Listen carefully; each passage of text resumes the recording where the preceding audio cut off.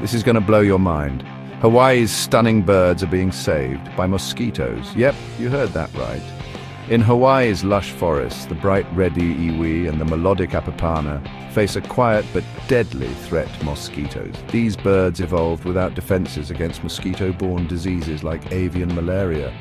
Just one infected bite can be fatal, and as the climate warms, mosquitoes are invading the birds' mountain sanctuaries, bringing disease with them. But scientists have a surprising solution. More mosquitoes. Wait, what? Yep, lab-raised male mosquitoes infected with a bacterium called Wolbachia.